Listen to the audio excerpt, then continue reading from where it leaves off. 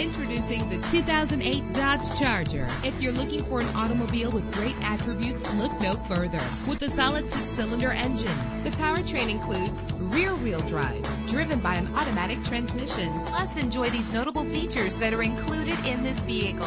Power door locks, power windows, cruise control, an AM-FM stereo with a CD player, power mirrors, power steering, air conditioning. If safety is a high priority, rest assured knowing that these top safety components are included. Front ventilated disc brakes, passenger airbag, low tire pressure warning, independent suspension. Let us put you in the driver's seat today. Call or click to contact us.